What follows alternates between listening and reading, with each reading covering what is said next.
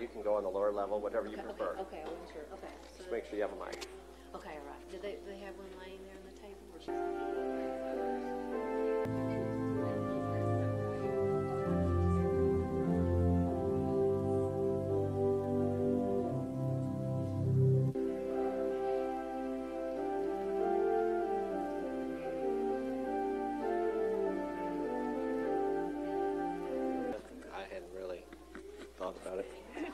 Planning to go in at the introit, but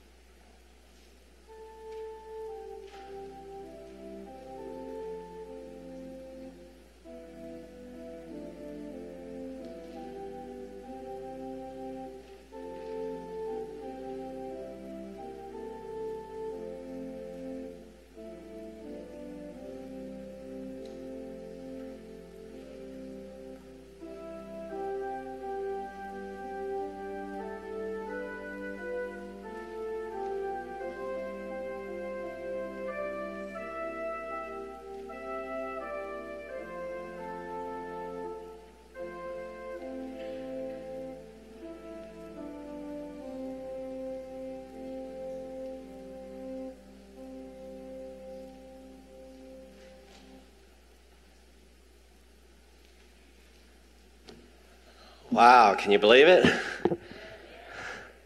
Thank you, Marva. It's good to hear the organ. It's good to hear you playing again. And uh, we're delighted to be in the house of the Lord and to, uh, to be together. Um, Zoom just doesn't quite cut it, although we want to welcome those who are um, watching via live stream. We know some cannot be with us today. Um, got a message here, and I didn't know if it was pertaining to this. we um, want to just take a few moments and uh, have some family time with regards to prayer requests and praises. Um, it's something we were doing on Zoom, and we kind of treasured that, and we wanted to just kind of, at least as we're segueing into a, a gathering like this, um, we wanted to leave that open and to see if there was anyone that wanted to share a praise or prayer request this morning. I'll start, of course, by stating what you have heard through the um, through the uh, uh, grapevine and, and the phone system, and that is that Bill Bumgardner lost his dear wife uh, Wednesday. And his dear wife was our dear friend, a family member in this church, and a leader for our community services center. And so it is with sorrow that we grieve with um, Bill. And uh, next week, the CSC will be closed um, in honor of her, uh, of her life and uh, to give the, time, the team time to, uh, to reassemble. Um, we will be celebrating her life in a memorial service next Sabbath. I'm sorry, next Wednesday at 6 p.m. here at the church. So I um, want to remind you that 6 p.m. next Wednesday we will have a memorial. We will not have prayer meeting because of that. We will have a memorial here. So um, let's remember Bill in our prayers. And I, in that same vein, I want to uh, remind you to be praying for. Uh, oh, I just drew a blank. Um, Joyce, Joyce, Still, Joyce Stills. Joyce and Daryl Stills lost their son, um, David uh, Norris, on Sunday night. And he, was a tragic accident. But do you realize that she's lost two sons now within seven months' time. I mean, that's just hard to wrap your mind around. Um, I spoke with her. She is a very strong woman. Um, doesn't mean that strong people don't cry. Doesn't mean that strong people don't hurt. And even though she could talk to you on the phone and, and remain rather calm, her heart is torn and she is um, she's hurting desperately as she tries to uh, understand something that, frankly, probably will never be understood this side of eternity. Um, I'm looking at Calvin right now, lost his daughter just not that long ago, right? And there's some things you just don't get, um, but you trust. And I've found myself praying with people who go through loss and saying, Lord, help us to choose. We choose to trust you right now. Because sometimes it's only by faith. You don't necessarily feel it. You don't necessarily know what it even all looks like. You just know that I'm choosing to trust God because He's never, ever let me down. And so that's what we do in times like this. We choose to trust, though we can't see the way clearly.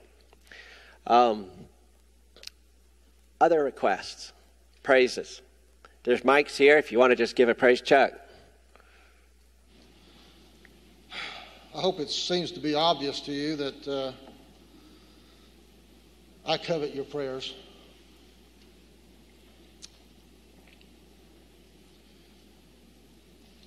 Feel like I'm getting ready to step off into deep waters.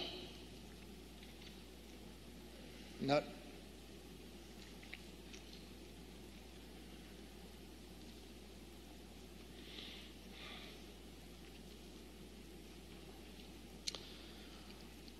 All I can promise,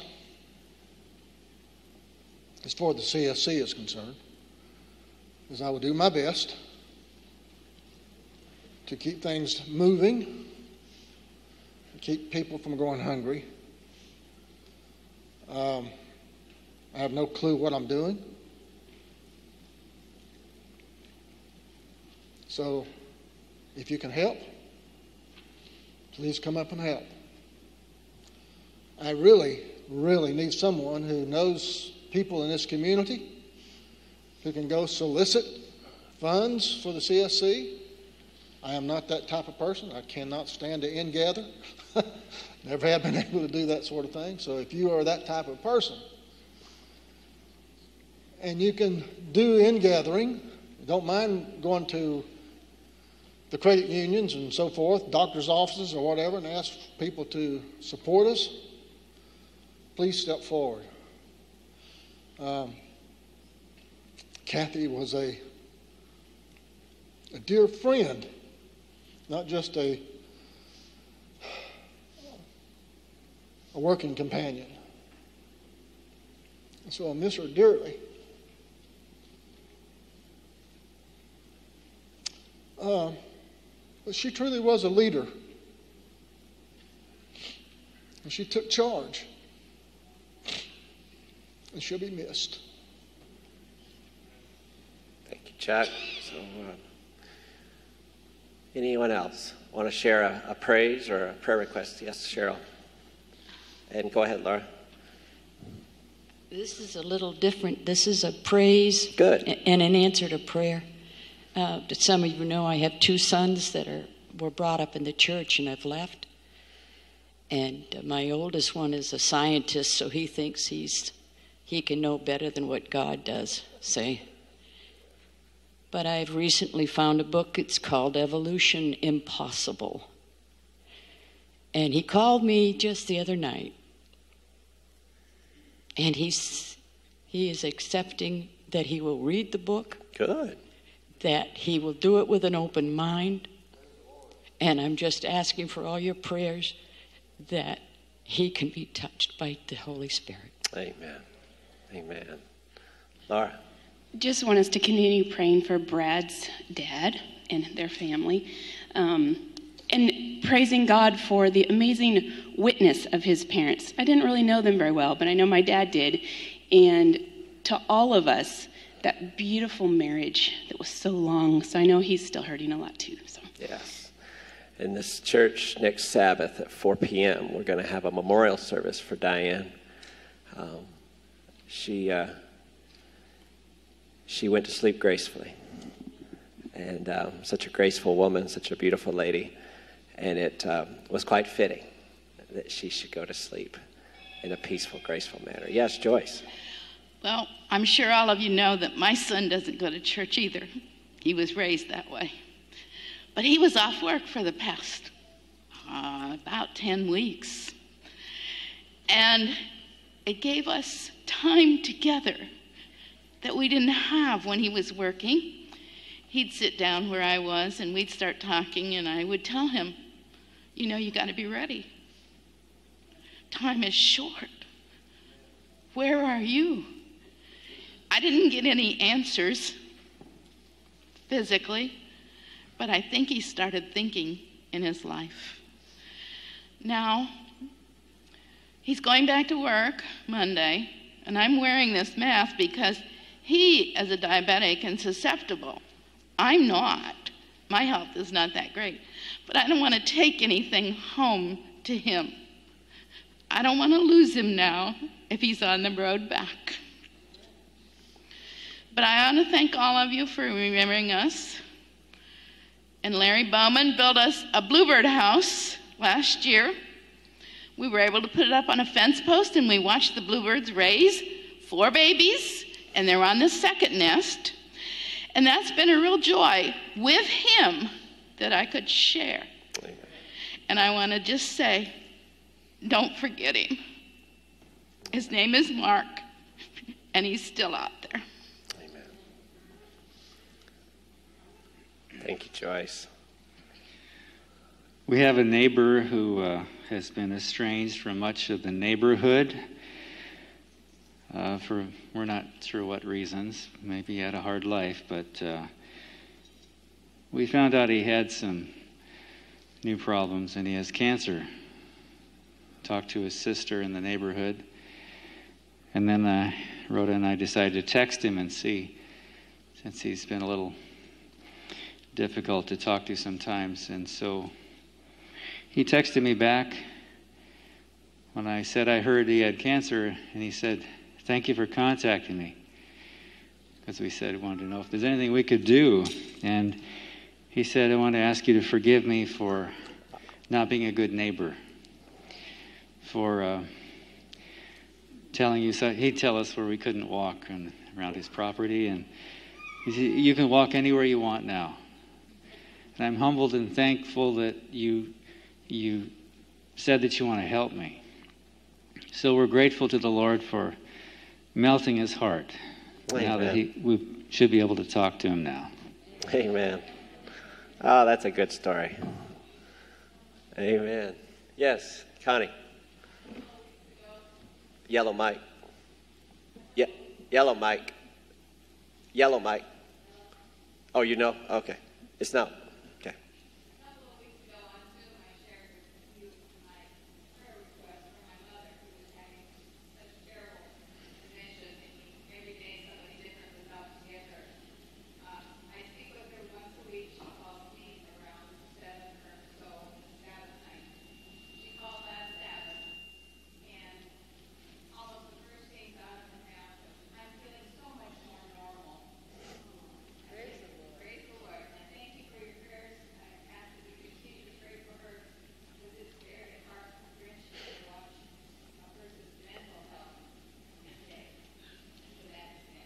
Yes, yes. Praise God. We're glad that your mama's thinking a little more clearly. That's good. So I have a praise and a prayer request. Um, about two weeks ago, um, talking to my parents, found out that my grandpa in Sao Paulo, Brazil, had uh, contracted COVID-19 and was in the ICU intubated. And with all his pre-line health conditions, they didn't think he was going to make it through. Uh, Friday, yesterday night, when I talked to my parents, he has made it through. He's out of ICU, no longer intubated, and recovering in a recovery room. So praise the Lord for that. Uh, 89 years old. How? And 89 Wow.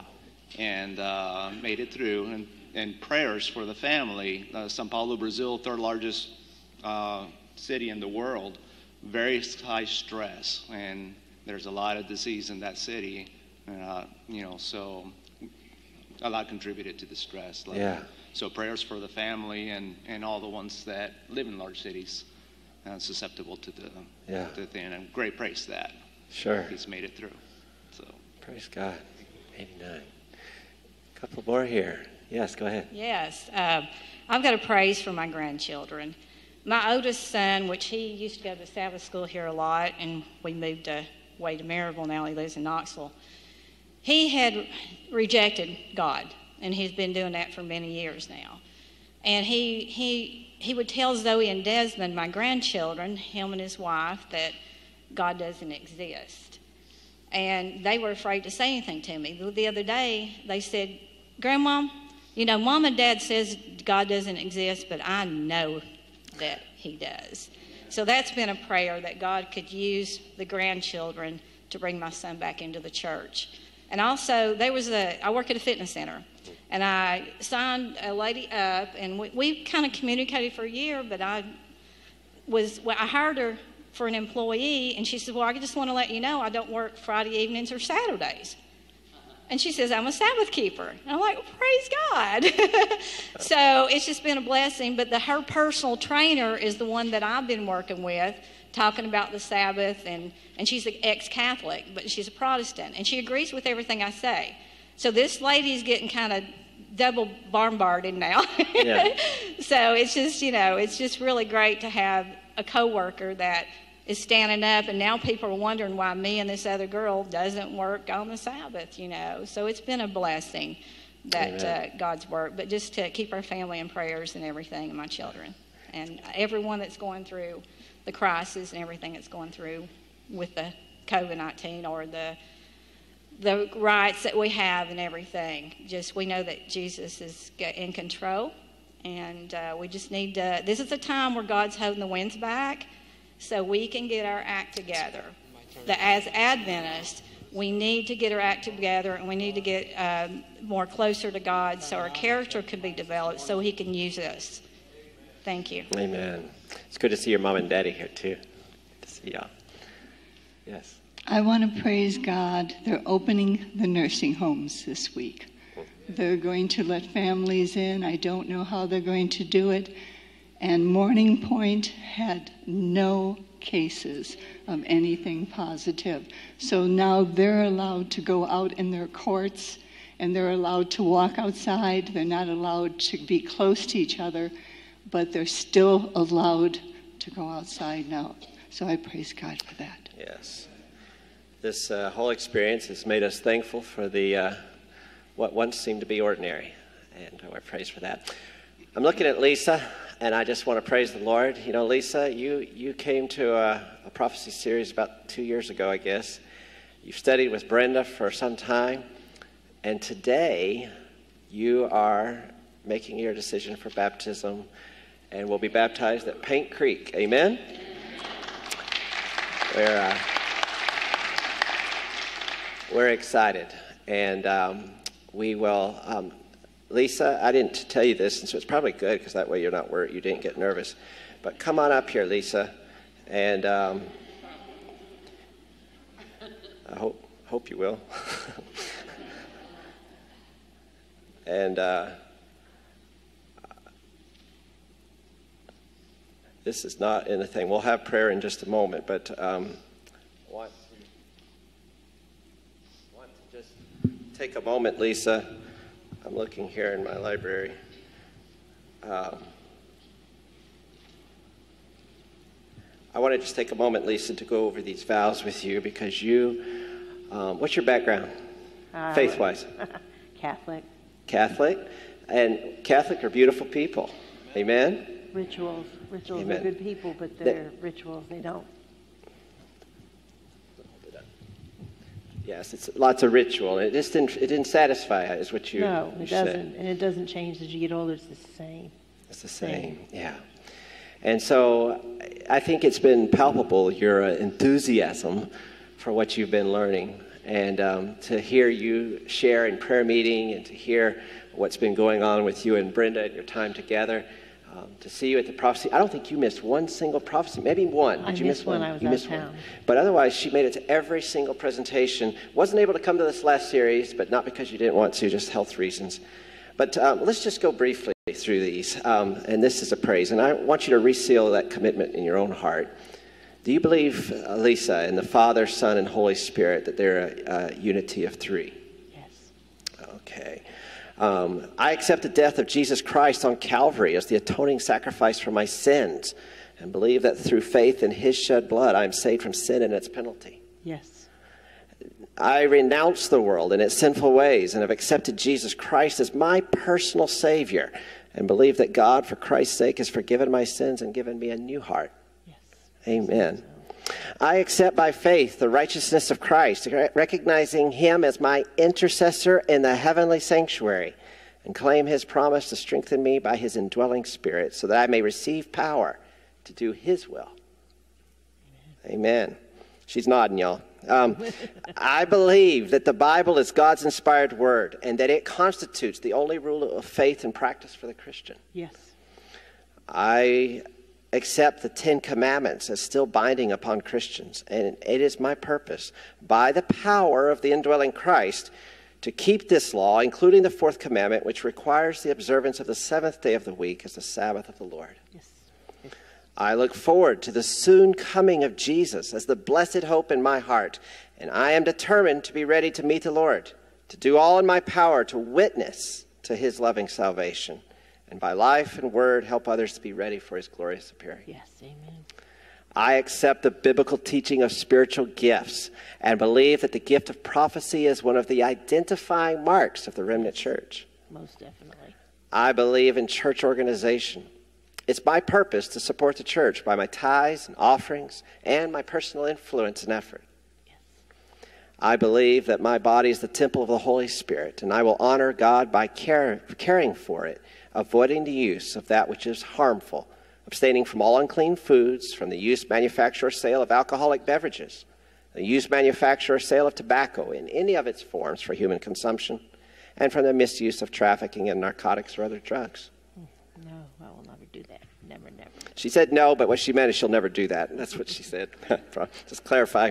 Um, I know and understand. You're supposed to say yes, Lisa. Okay. Uh, okay.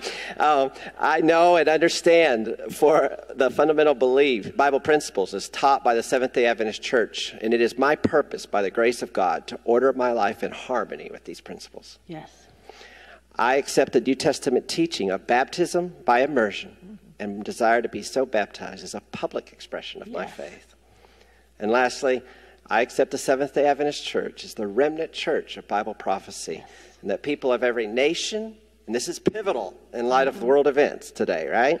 Have, yes. It is a church for every nation, race, and language are invited and accepted into its fellowship, and I desire to be a member of the lo- this local congregation of the World Church. Yes. So thank you. Is there a motion we accept her pending her baptism? I mean, all in favor, just right. yeah, It's, it's unanimous. It's unanimous. We love you, Lisa. Oh, I'm sorry, we're not supposed to do that. Oh, that's right. Okay. Uh, let me. Huh? Yeah, that's the first time. We'll have prayer. Okay. Larry, come up and pray for us. We've had many praises this morning, and we closed with a big one there. Please pray. Thank you very much. It is so good to be back in church. Wow, I've missed this so much. Uh, let's kneel before the Lord as we pray.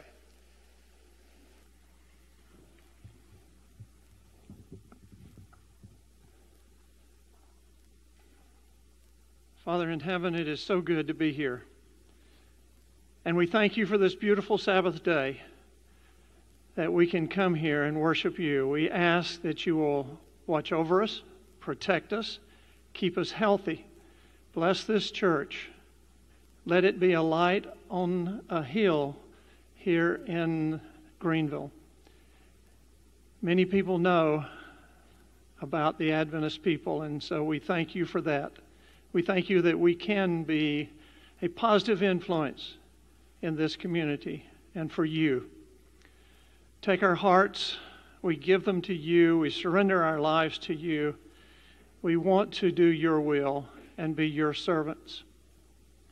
We ask that you will bless us today as we worship you and as we meet with you. And, and we ask for the Holy Spirit to come and be with us. And, and the, we thank you for the angels that are here and for the love that we have for one another, that we can support one another and hold each other up. And we thank you so much for the ones that have come forward this morning with prayer requests, and there are many others that have prayer requests on their hearts, and they have silent requests. And you know each one. You know our hearts. And Father, we think we think this morning of several that have, have come to the microphone and and have uh, expressed their hearts' feelings. And we think of the MD family, Father. We we think of Diane and you know a wife and a mother a grandmother and we just ask that you will bless this family and we thank you that we have the blessed hope of the soon return of Jesus Christ and we'll be able to be reunited with our loved ones and we think of Daryl and Joyce Steele and the loss of another son David two within seven months and we just ask that you will bring peace to them. And of course, Bill Baumgardner and his family and the support that they give at the loss of Kathy. And what a shock it was to get that call Wednesday morning. We just worked with her Tuesday morning at the center. And it just uh, was unbelievable. I, I still don't think it has fully sunk in. But we ask that you will send your Holy Spirit to Bill and his family. Give them the strength that they need and, and the peace that can only come because of your love for us and the assurance that we will see our loved ones again. Father, we think of the leaders at the center with Bill and Chuck and, and all the volunteers that come, but you heard the expression on Chuck's voice this morning of we really don't know where to turn or, or what to do, but, but you will guide. You will guide Bill and, and Chuck. And so, all the volunteers, we ask that you will bless in a special way. We think of our school and uh, for the way we've had to end this year.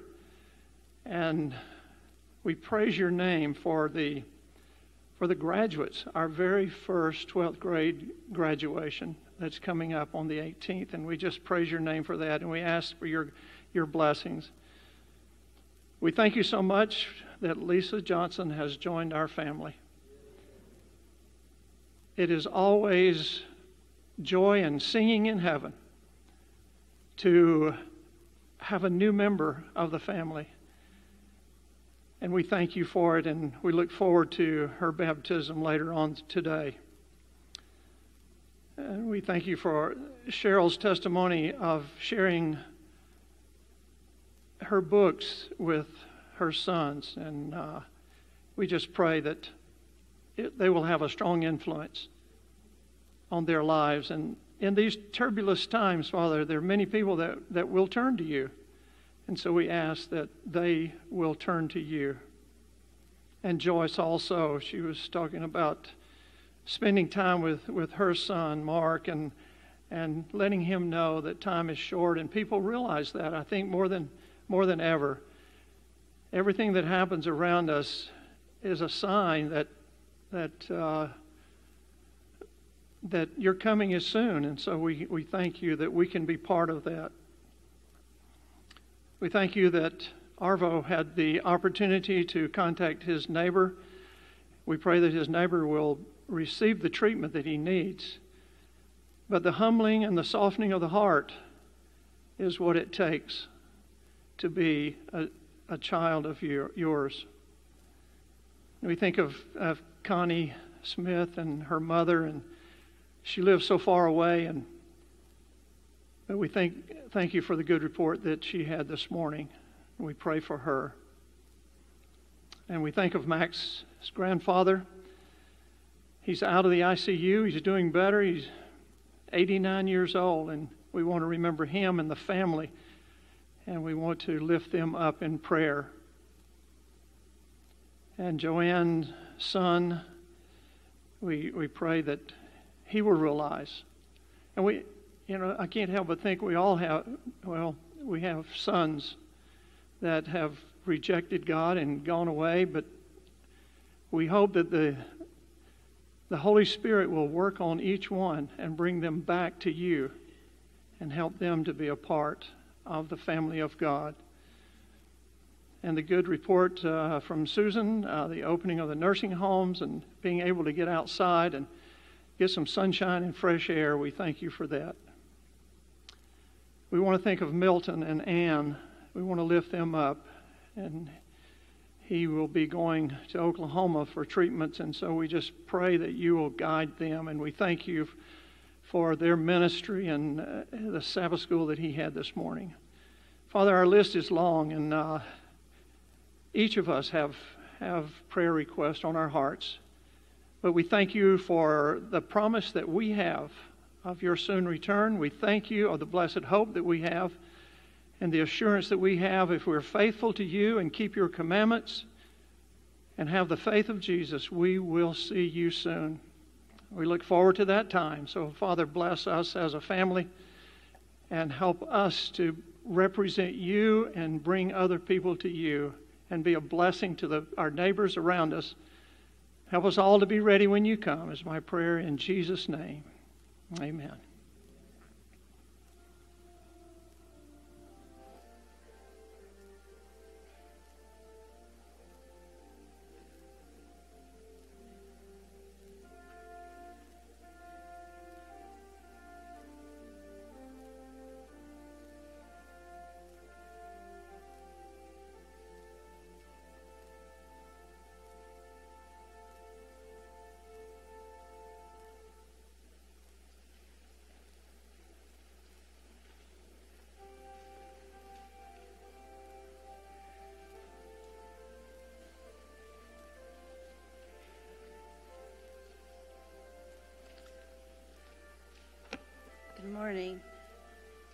Our scripture this morning is Proverbs 27, verses 1 through 9, if you would like to follow along with me. Proverbs 27, 1 to 9. Do not boast about tomorrow, for you do not know what a day may bring forth. Let another man praise you, and not your own mouth, a stranger, and not your own lips. A stone is heavy, and sand is weighty, but a fool's wrath is heavier than both of them. Wrath is cruel, and anger a torrent. But who is able to stand before jealousy? Wrath is cruel, and anger a torrent. But who is able to stand before jealousy? Open rebuke is better than love carefully concealed. Faithful are the wounds of a friend, but the kisses of an enemy are deceitful. A satisfied soul loathes the honeycomb, but to a hungry soul every bitter thing is sweet. Like a bird that wanders from its nest is a man who wanders from his place. Ointment and perfume delight the heart, but the sweetness of a man's friend gives delight by hearty counsel. May God add his blessings to his word.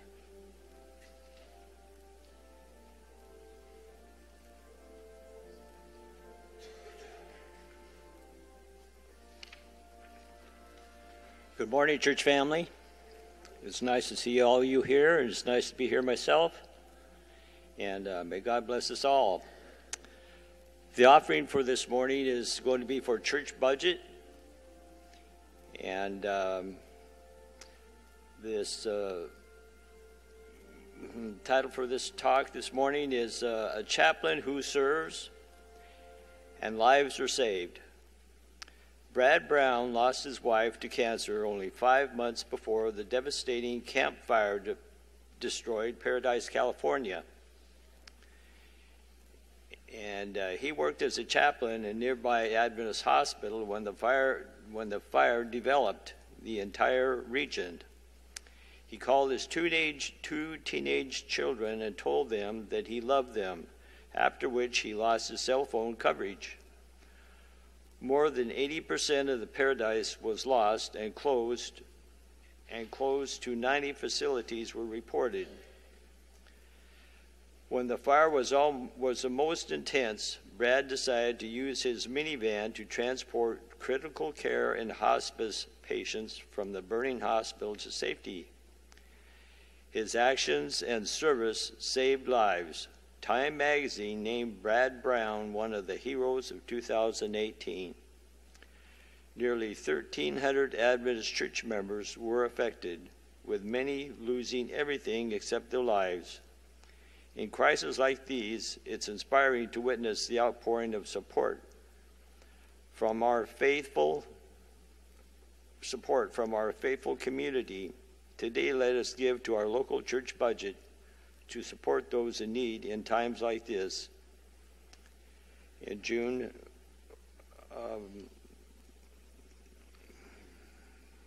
yes, um, okay, uh, we will. Uh, in lieu of picking up the offering of deacons, we will have ushers, or there will be offering plates in the back to give our offerings. As for giving offerings, the children's offerings could be in, uh, put online as well as our personal offerings, or that mailed. But uh, for today, if you have it in hand, you can deposit it at the back at the end of the service. So if we'll bow our heads now we'll have a prayer for the offering. Our kind and gracious Heavenly Father, we're grateful for the blessings that you have given and bestowed upon us. Help us now to respond to the blessings that you have bestowed upon us by giving of showing of our gratitudes through our means. Thank you now for loving us and for blessing us and for blessing what we have blessed those that we give to you, we pray in Jesus' name, amen. Also, the children, of course, will remain in their seats as the story is being told. Thank you.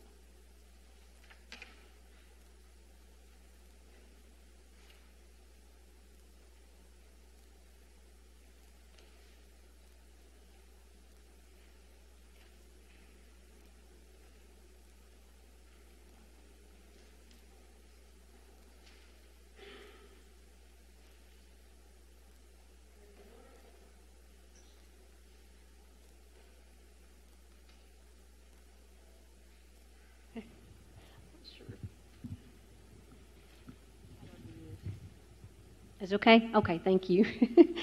Good morning and happy Sabbath to all of you. It's such a joy to be here, and it's just, my heart's just so happy to be here with the fellowship of all of you. I know it's been a t- trying time for a lot of people, but it's also been a blessing in many, many ways, especially on the farm.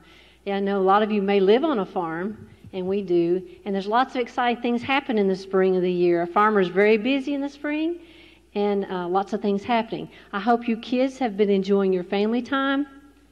I know when we're working and busy, normally we don't spend as much time together, maybe taking walks or just spending time around the table talking or playing games with our children. And on the farm, there's so many new things that happen. The, the, of course, lots of chores inside that start all the time. But in the spring, there's more things to do outside. As many of y'all may know, if you do live on a farm, you have to mow the grass. Kids may be doing some of that. I know as you get older, you have more chores to do. So, weed eating, and there's the planting of the garden. Hopefully, how many of y'all have got a garden planted? I'm sure lots of you have got a garden. Kids, I'm sure you've all got flower gardens and helping in the garden, which is a wonderful experience for all of you. So, you're learning lots. And what's another exciting thing that happens on the farm in the spring? Does anybody, can somebody tell me? Birth. And I know the Kennedys, they've got some new colts. I'm anxious to maybe go out and see. They're beautiful. I've seen pictures. And then, of course, uh, the, the, the sheep being born, the little lambs.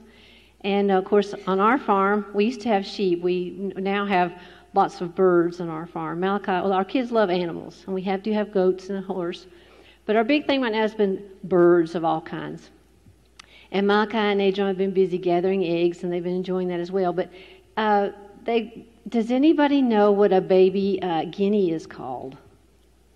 Does anybody have a clue what a baby guinea bird is called?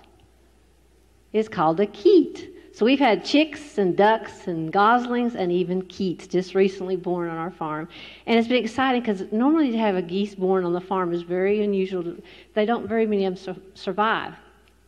So the kids have been really excited. They actually, one of them hatched out and, and the kids wanted to leave it with his mama, and well, unfortunately, that one didn't survive. So Malachi was quick. There was two more eggs getting ready to hatch out. He said, "Mommy," he said, "I'm bringing them inside." He said, "They're going to be all right." So, anyways, needless to say, he took them in, put them in the incubator, and they did survive. So we've got little goslings running on the farm too. So we're excited about that. And also, amongst all of that, we even had a, our dog Maggie had a litter of pups. So we've been enjoying lots of little puppies running around. We gave all all of them's gone except one. You know, we got to keep one. So one more animal to the farm, which is one too many, maybe. But we're really enjoying. So it's important as kids to let them experience all these wonderful things on the farm. They're learning lots about God's creation, and learning about taking care of things, and learning about life, and just the love that they have to share with those animals. Now, uh, hopefully, you have had time to really focus on what's going on. We need to be paying attention because this is the end of times. And God is preparing our hearts. He's wanting us to be ready. And yes, I want to show you, I've got some things. Some of these things you all may be doing at your house. But our house, we've been doing some extra things. And uh, let me show you a few of them. Now, if y'all don't know Walt, the mustard seed, uh, he's got lots of good things to store. But one that we've been taking is elderberry. I don't know if y'all take any elderberry, but some people don't take too much. Just a little dab will do you on some of that. So everybody, a different dose for different people. And of course, we've been. Uh, oh, here's another one. Maybe zinc, maybe a little zinc, and something that's real easy to take that's good for a lot of things. Maybe a lot of people don't know, but what are these? Lemons. Lemons are good for so many things. It's cheap. It's good for lots of things. Full of vitamin C and I know they're saying for the, the virus, that you drink need to drink lots of if you drink lot, lots of warm drinks. So take a cup of hot water, put some lemons in it. If you want to sweeten it with honey, put a little honey in it. But that helps soothe your throat. It's good for people who have laryngitis. I mean, it's good when you for lots of things, and it's full of vitamin C. Real simple to do.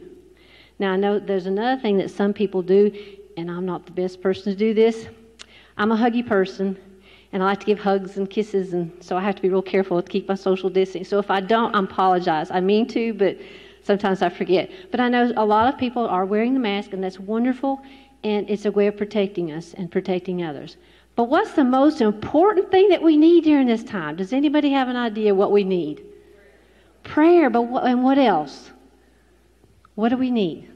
We need to carry it everywhere we go. We need this book right here.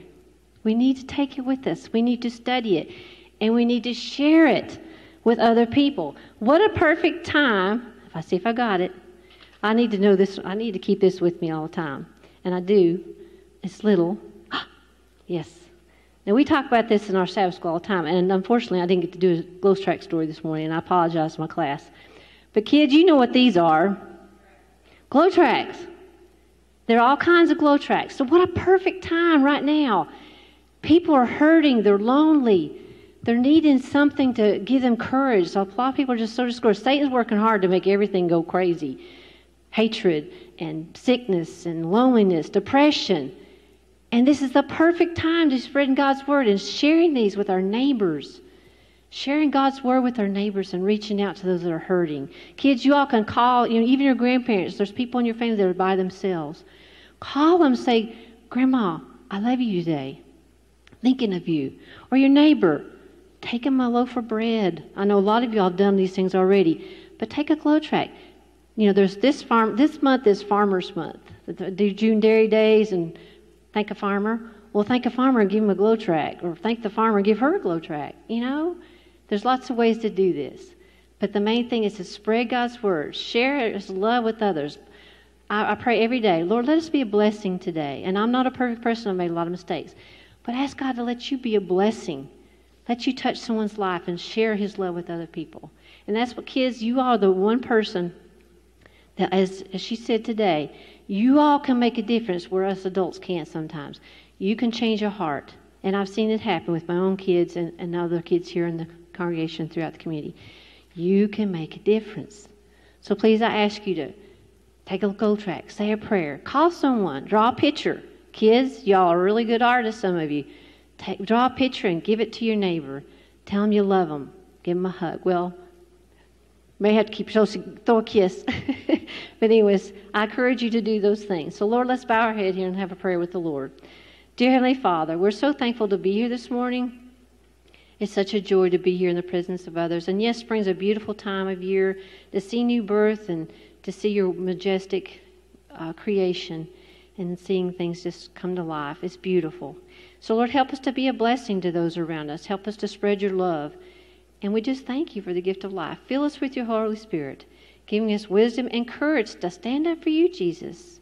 We need to trust, not to be afraid. Help us to be like Daniel and be strong and be, be have courage to be brave and trust you that you will take care of your people. And Lord, we just love you. In your name we pray. Amen. Thank you.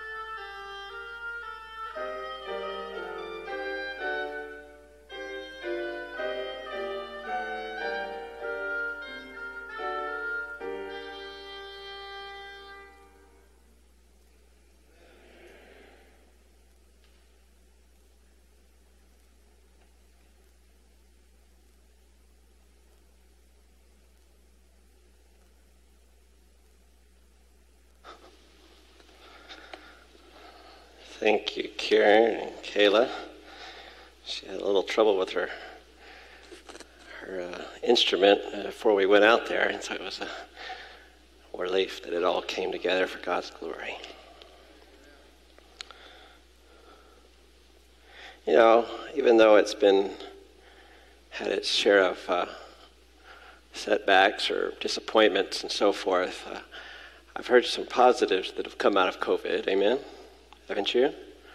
Um, I think one of the most stark positive testimonies that I heard was several weeks ago when one of you shared how your schedule was so booked that you didn't see a free weekend till June, and how this forced the whole family just to stop and get to be together and enjoy spring. And uh, I think uh, that has been a blessing many of us can identify with. Um, the world keeps turning, right? Um, story is told about Becky and how she prepared a pasta dish for a party that she was planning to give that evening. In her haste, however, she forgot to refrigerate the pasta sauce, and it sat on the counter all day long. She was worried, of course, about spoilage, so she uh, was in a jam because it was too late to cook up another batch. And so she called Poison Control Center. She voiced her concern. Poison Control advised Becky to boil the sauce again and that it should probably be okay. That night, the phone rang during dinner. One of the guests volunteered to answer it and her face dropped she called out, It's poison control. They wanted to know how the spaghetti sauce turned out.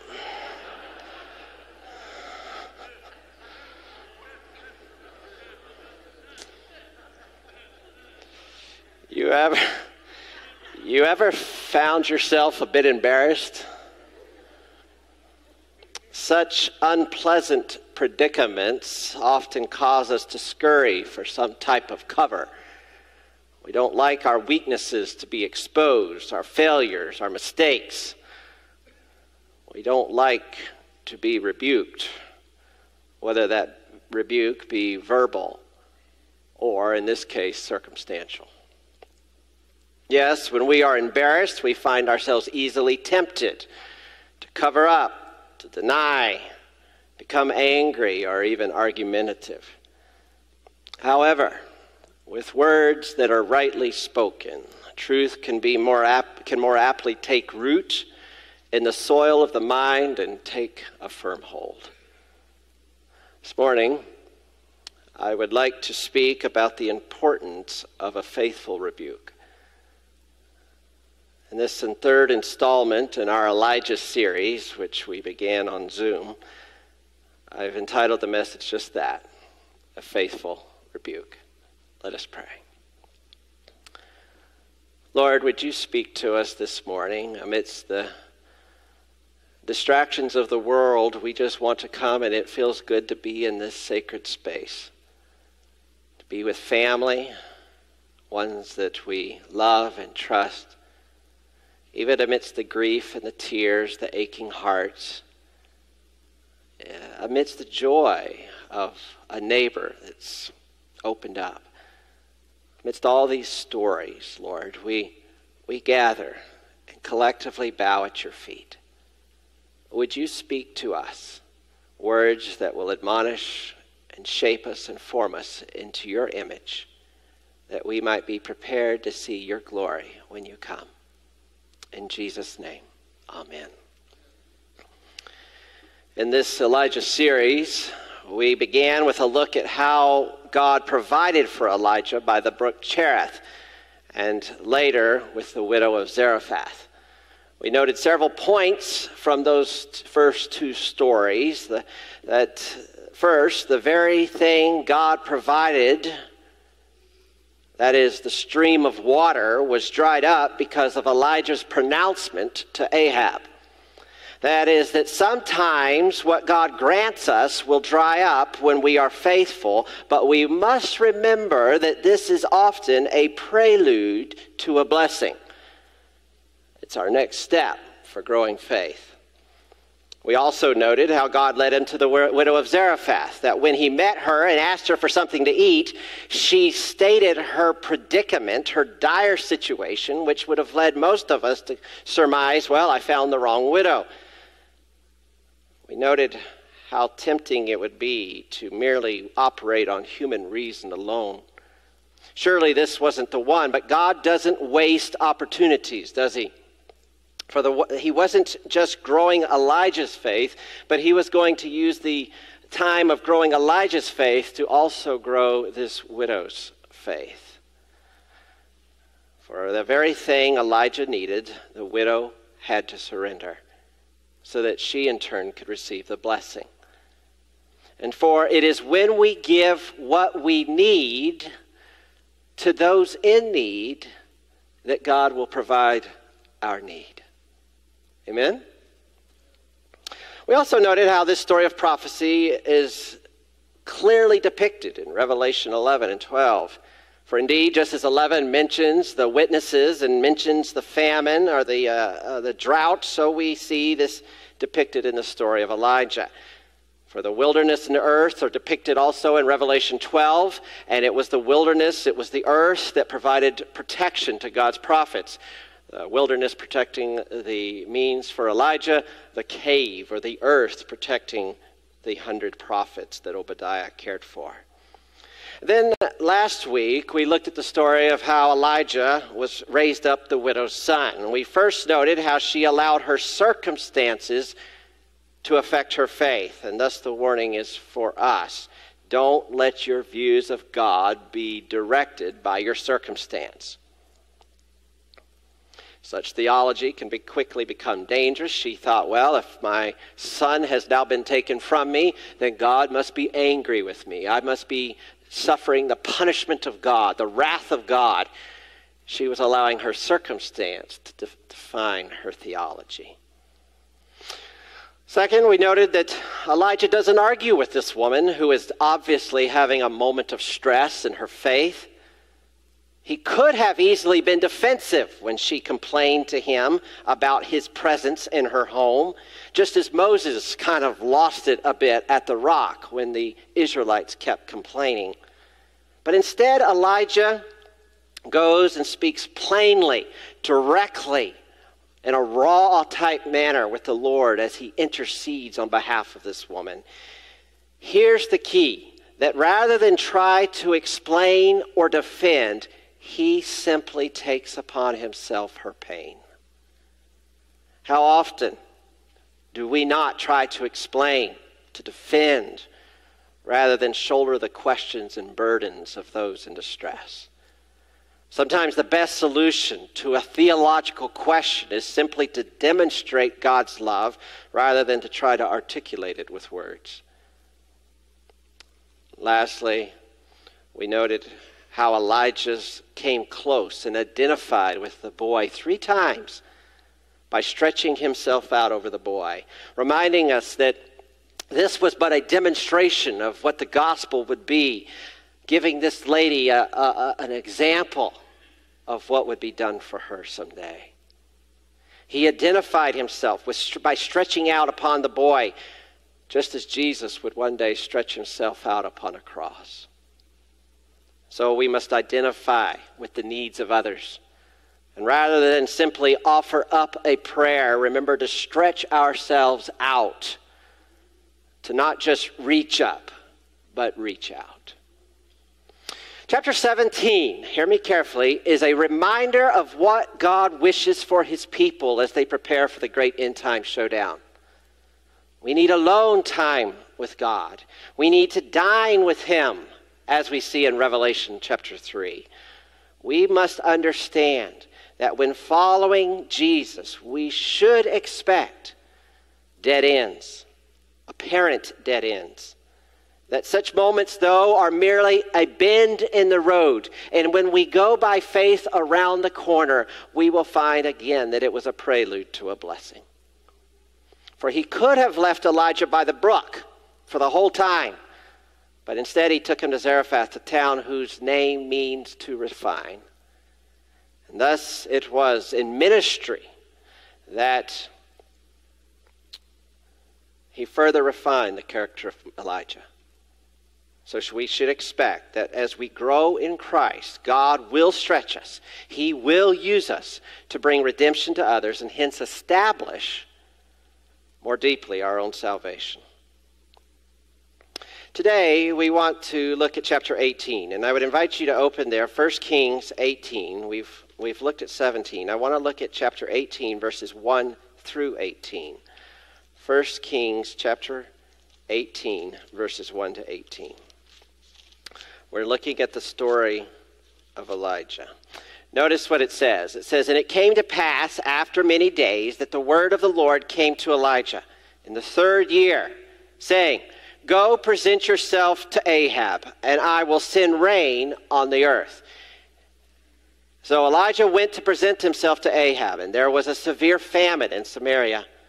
And Ahab had called Obadiah who was in charge of his house. Now, Obadiah feared the Lord greatly, for it was while Jezebel massacred the prophets of the Lord that Obadiah had taken 100 prophets and hidden them 50 to a cave and had fed them with bread and water. There was roughly around 2,000 caves, they tell us, in that region that are in that region. So he had many options, if you will. Verse 5 Ahab said to Obadiah, Go into the land to all the springs of water and to all the brooks. Perhaps we may find grass to keep the horses and mules alive, so that we will not have to kill any livestock. So they divided the land between them to explore it. Ahab went one way by himself, Obadiah went another way by himself. Now, as Obadiah was on his way, verse 7, suddenly Elijah met him, and he recognized him and fell on his face and said, Is that you, my lord, Elijah? And he answered him, It is I. Go, tell your master, Elijah is here. And so he said, How have I sinned that you are delivering your servant into the hand of Ahab to kill me? As the Lord your God lives, there is no nation or kingdom where my master has not sent someone to hunt for you. And when they said, He is not here, he took an oath from the kingdom or nation that they could not find you. And now you say, Go, tell your master, Elijah is here. And it shall come to pass, as soon as I am gone from you, that the Spirit of the Lord will carry you to a place I do not know so when I go and tell Ahab and he cannot find you, he'll kill me. But I, your servant, have feared the Lord from my youth. Was it not reported to my Lord what I did when Jezebel killed the prophets of the Lord, how I hid 100 men of the Lord's prophets, 50 to a cave, and fed them with bread and water? And now you say, Go tell your master Elijah is here. He will kill me?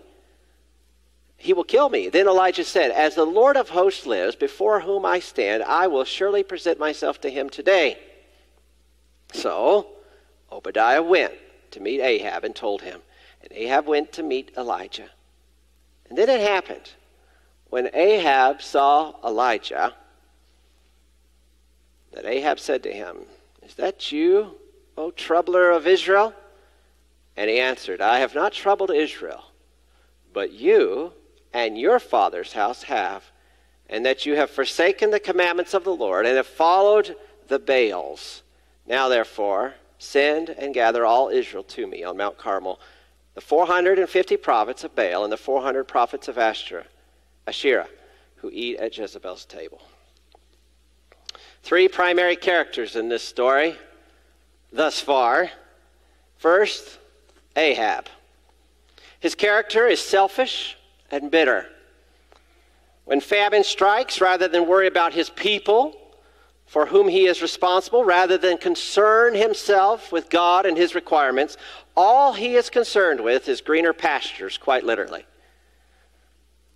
with protecting his investments.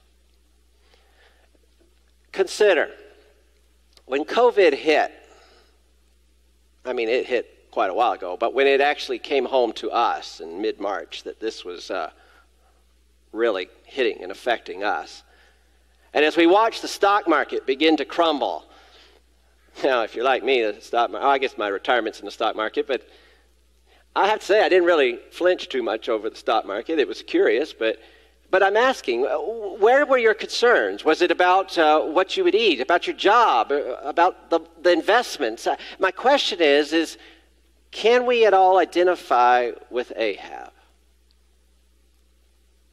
Ahab's second primary focus was on bitterness and hatred. For due, for due to the influence of his wife, he believed Elijah to be the troubler of Israel. So during this three and a half year stint, really a three year period of famine, but a half year prior to that leading up to the famine, many today are either doubting and refuting the message of Scripture and casting doubt upon its authority. Or they cast doubt upon the spirit of prophecy, just like Ahab did during this three and a half year drought.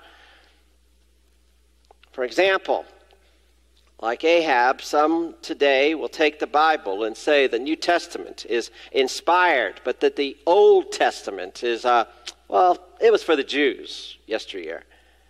Or they will say, for example, that Revelation, you know, is a closed book. You've heard these stories. So today, some will look at the spirit of prophecy. And while they may read the conflict of the ages, they will quickly set the testimonies for the church aside, saying, These sayings are too hard. You hear me?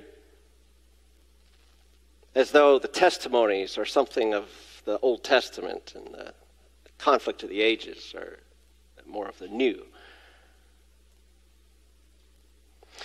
Enter Obadiah. He was faithful to the prophets. He hid them in the caves, preserving their ministry and their influence. Today, God's Word, the spirit of prophecy, are under attack, and God is looking for a people to be faithful, to preserve, and to protect His holy instruction. Just as the Waldensians of old preserved the Word, so this word, this work is to continue. And yes, if we don't read it, both the Old and the New Testament. If we don't study the spirit of prophecy, yes, both the conflict of the ages and the testimonies for the church, which I'll just be frank with you, there's not a great side of difference. If we don't study these, we are ill prepared. How can we share what we haven't studied?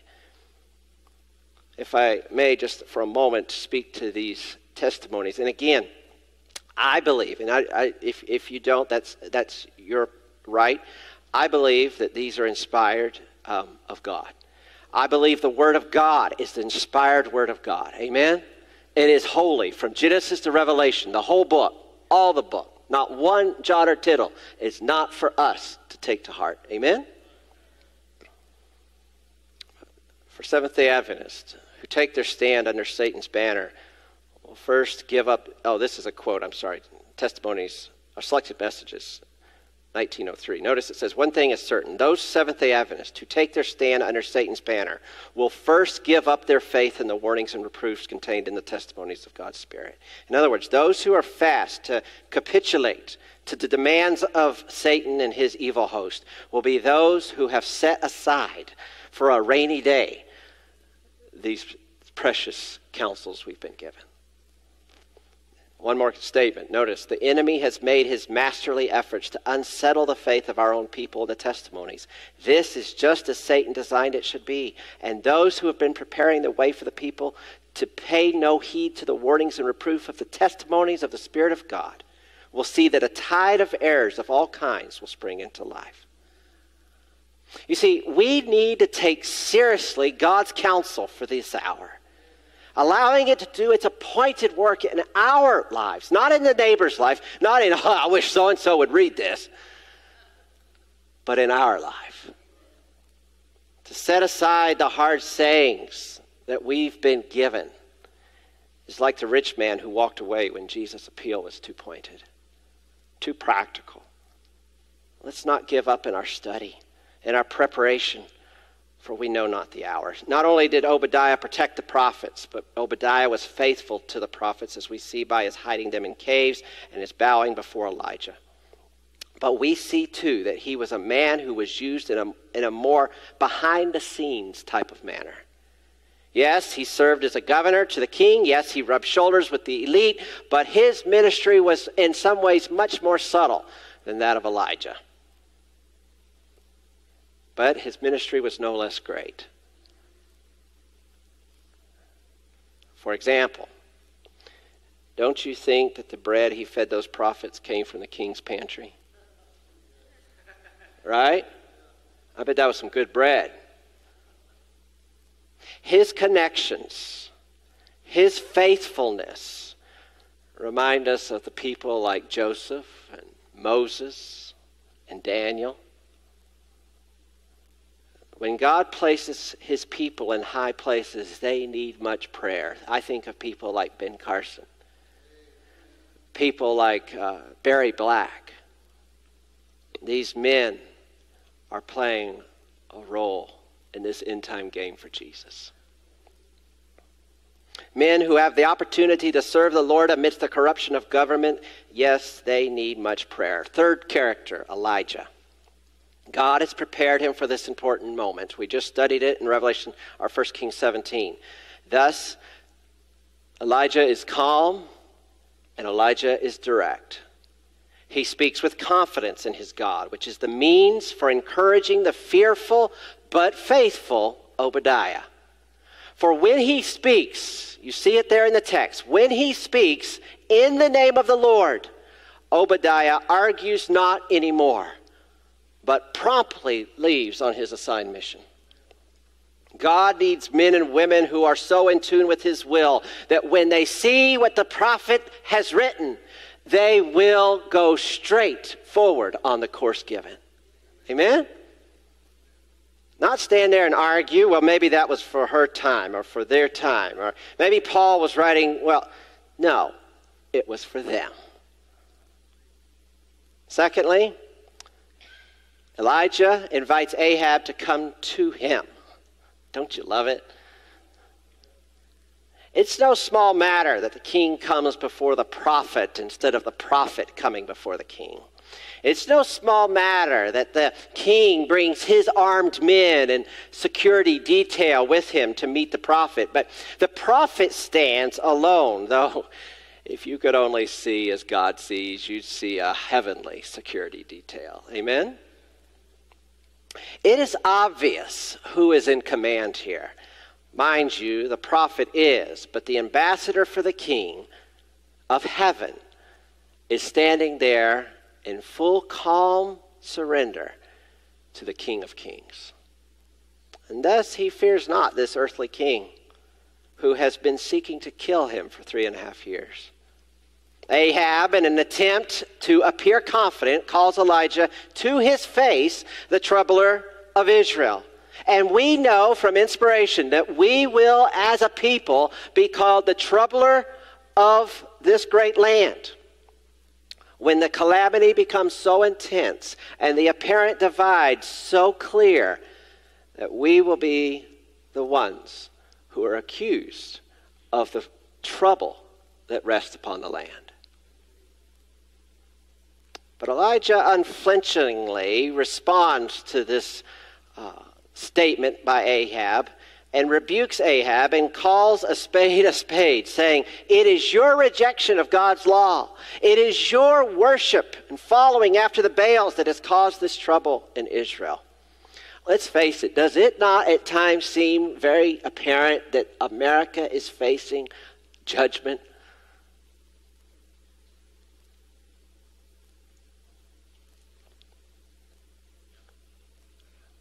Elijah has been hunted by the man for three and a half years, but now he invites him to come to him, and yet he speaks with such daring authority.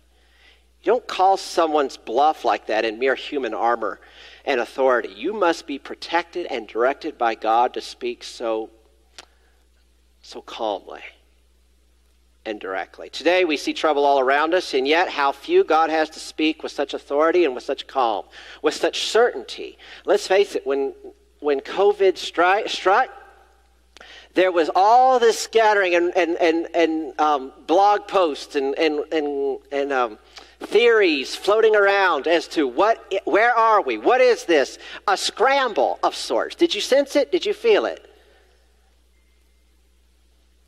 But before we can extend rebuke, we must be willing to receive rebuke. Rebuke is not a bad thing. Proverbs offers, numerous, offers many texts, numerous uh, texts that extend clarity to the blessings and warnings with regards to rebuke. Proverbs 10:17, the one who rejects reproof leads others astray. Proverbs 12:1 says that one who rejects rebuke is a fool, is stupid, despises himself. Whoever hates reproof will die poverty and disgrace come to him. But for those who accept rebuke, the promised blessings are many. Whoever heeds reproof is honored, is prudent. He who listens to reproof gains intelligence. Proverbs 15:32. Loves knowledge, will dwell among the wise, and is on the path of life. Because the rod and reproof give wisdom. Proverbs 29:15. And the reproofs of discipline are the way of life. Proverbs 6:23. To the one who embraces rebuke, God says, I will pour out my spirit to you. But to the one who despises it, I will laugh at your calamity. When ruin, Proverbs 29:1 says that when ruin comes for the fool who resists reproof, it will be sudden and devastating. He who is often reproved, yet stiffens his neck, will suddenly be broken beyond healing. In commenting on this passage found here in 1 Kings 18, verse 18, where Elijah rebukes Ahab, we read this in Prophets and Kings The smooth sermons so often preached make no lasting impression. The trumpet does not give a certain sound. Men are not cut to the heart by the plain, sharp truths of God's word. There are many professed Christians who, if they should express their real feelings, would say, what need is there of speaking so plainly? They might as well ask, Why need John the Baptist have said to the Pharisees, O generation of vipers, who hath warned you to flee from the wrath to come? Why need he have provoked the anger of Herodias by telling Herod that it was unlawful for him to live with the, his brother's wife? The forerunner of Christ took, lost his life by his plain speaking. Why could he not have moved along without incurring the displeasure of those who were living in sin. So, men who should be standing as faithful guardians of God's law have argued till policy has taken the place of faithfulness and sin is allowed to go unreproved. When will the voice of faithful rebuke be heard once more in the church? Prophets and Kings 140 to 141.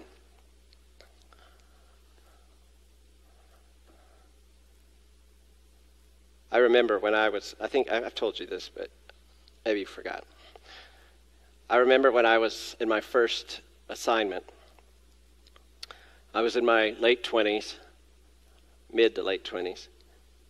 Anyway, it doesn't matter. Um, I went to lunch with Tina. We had no children at the time. We went to lunch at this home, sweet couple, older couple.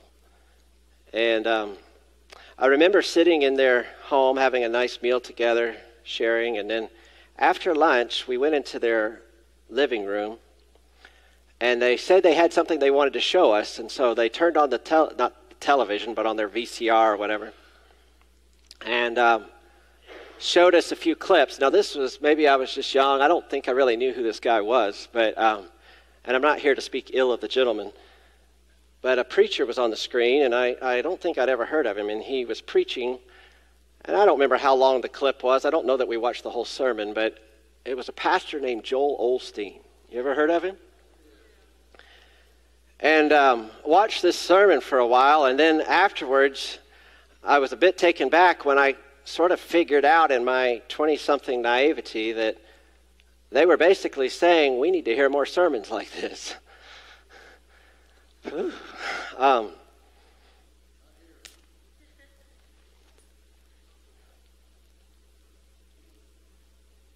Let the truth cut, she writes.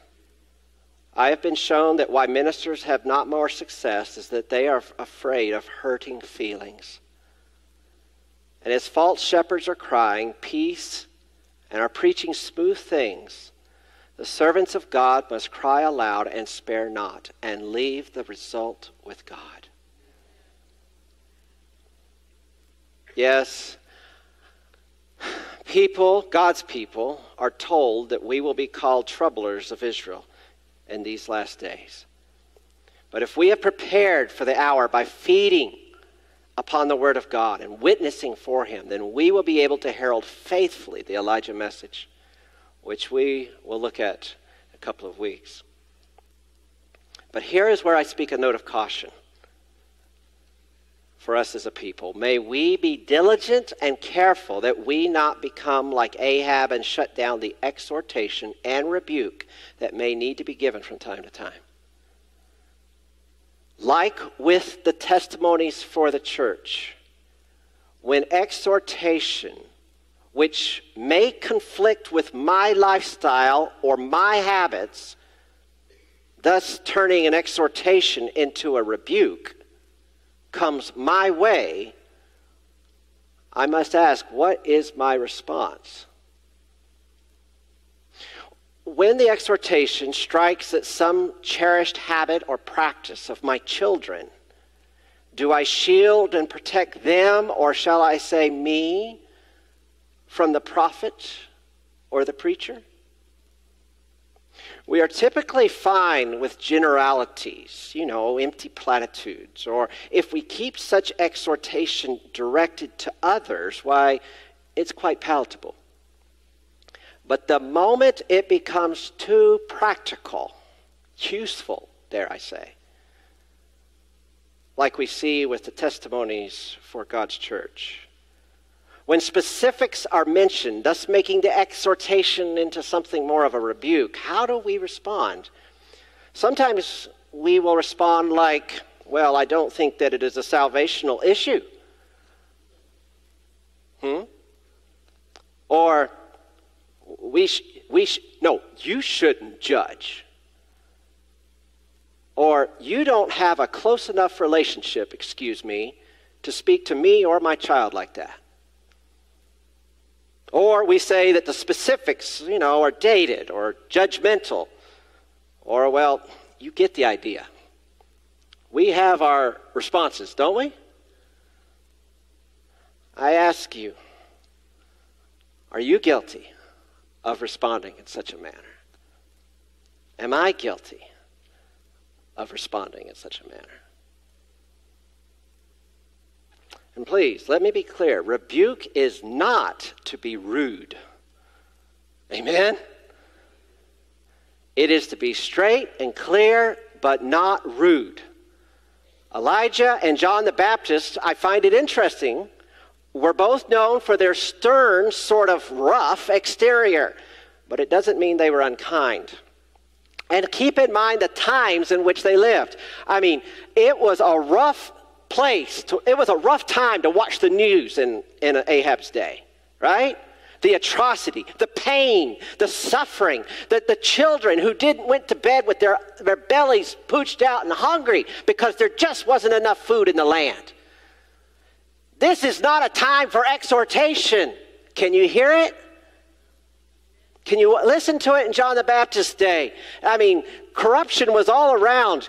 John the Baptist, why is he preaching like that? I mean, we need something more comforting than that. Amen?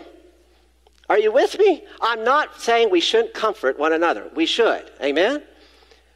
But there is a time if if Jesus is almost here and we have rebelliously kept our hands in whatever our cookie jar may be, then don't you want somebody to help you see where your hand is at? Amen? I mean, even though Elijah, according to inspiration, was quoted, I quote, a stern, he was stern. I want you to remember how he responded to the widow who just lost her son. Right? He didn't come down like, Where is your faith? We've been eating together all these months, and now you're acting like this? No, it was none of that, right? He took her pain and he laid himself out. Therefore, some points that we should keep in mind when giving or receiving rebuke. First, keep it in the family. Keep it in the family. We don't need to air dirty laundry, right? Avoid social media and the internet when at all possible. Dare I underline that? Listen, when we rebuke others, even our country's leaders, and get into politics, oh, this is dangerous territory. But when we get heavily into politics over persons, we could stand for issues, but we I only want to stand behind Jesus Christ. Amen? Amen? We don't need to take sides. We just don't. It, it ruins, it corrupts our witness. Outside, I'm sorry. But we need to keep our rebuke in the family. Let's face it, cowards often resort to the path of least resistance. That's why they're crooked like a stream. And social media is often such a venue. And so, in the name of rebuke, they will castigate those who have done wrong and publicly denounce their errors. Now, while there is a time and place for public rebuke, let's be clear the public does not necessarily mean the world. Right? The world doesn't need to hear about our mistakes and problems, for they are far too eager to point out the faults of God's end time church. When you use the web to herald rebuke, you place into the hands of the enemy abundant resources for att- attacking the bride of Christ. Just don't go there if at all possible. Let's not spend so much def- time defending one candidate or castigating another. Let's defend the gospel. Follow Matthew 18. Second point, follow Matthew 18. It is true that if someone persists in rebellion and you have followed the path of Matthew 18 by first going privately to, to them first, bringing an elder secondly, and visiting them, and then if they still persist in their rebellion, going to the church. But it doesn't ever say to go beyond the church, does it? Does it? It doesn't. And when they refuse, when they rebel against the church's counsel, the instruction then given is to treat them like a heathen. And the Bible has a whole chapter dedicated on that in Luke 15. You know, the lost sheep, the lost coin, and the lost son. That's how you treat a heathen. Number three, love requires honesty. Proverbs 27, verse 5 says, Better is open rebuke than hidden love. If we truly love our neighbor, we won't, ne- won't neglect their need to, no matter how uncomfortable it makes us.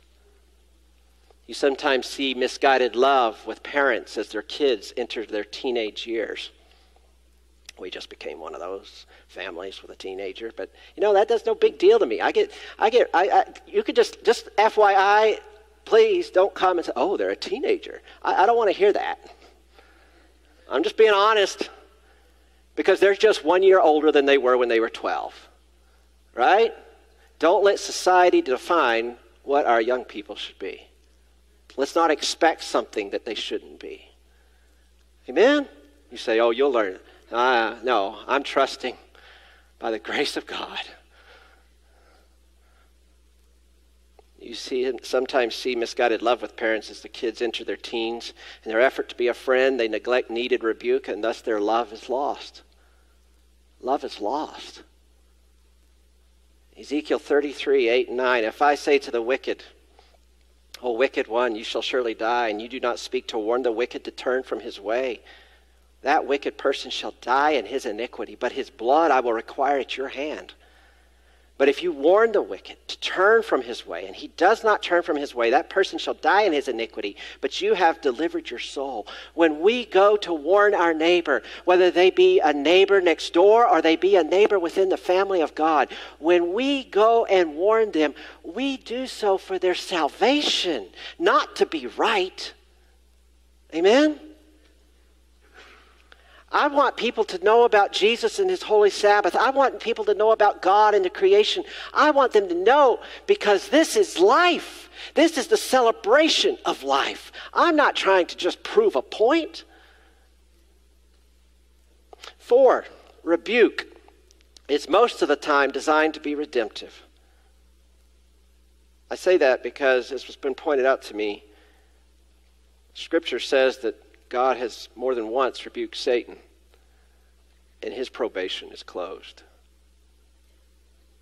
But otherwise, we are to give rebuke with the spirit of Luke 15. If we are following the Matthew 18 principle, they, ins- they insist and they insist on their rebellion, then treat them as one that is lost.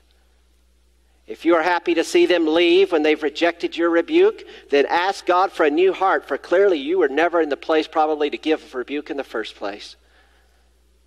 John Wesley and a preacher friend of his who had rather plain habits were once invited to dinner where the host's daughter, who was, by the way, noted for her beauty, had been profoundly impressed, and who, the young, beautiful lady, had been profoundly impressed by Wesley's preaching.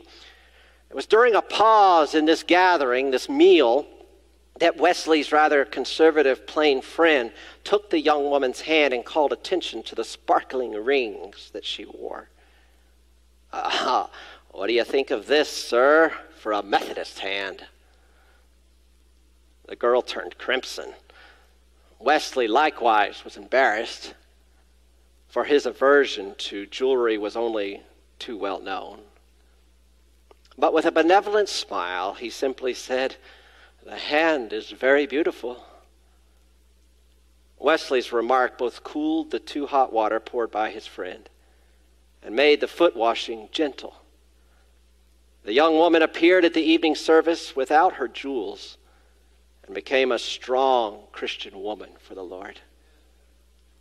In these last days, which are typified with the story of Elijah, we see the need, we see the importance of the gift of prophecy, of protecting the prophets and their warnings, and yes, of giving faithful rebuke.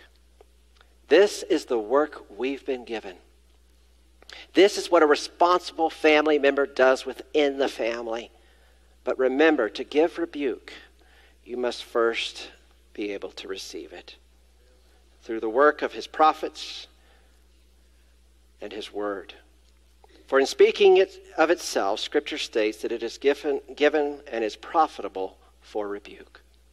So I close with this appeal protect the prophets fearlessly speak for Jesus and call sin by its right name.